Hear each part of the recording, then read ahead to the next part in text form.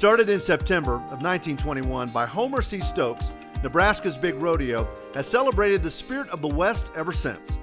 The rodeo was held in conjunction with the Garfield County Fair in Burwell. That first year, the committee handed out a new pair of spurs and $25 to H.D. Kraus for winning the Saddle Bronc riding. This outdoor midsummer rodeo became a must stop in the 1930s and continues to draw the biggest competitors in pro rodeo through its gates every year. Burwell is considered the front door of the Nebraska Sandhills, a 19,000 square mile region of grass covered dunes across the northern part of the state. This small town of approximately 1,200 people hosts between 10,000 and 12,000 spectators a year.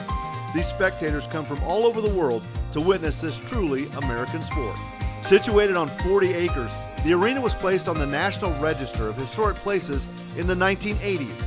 This was part of a revitalization project for the rodeo, which also included switching the performances to the evenings, adding events like wild horse racing and dinner bell derby, plus adding more prize money.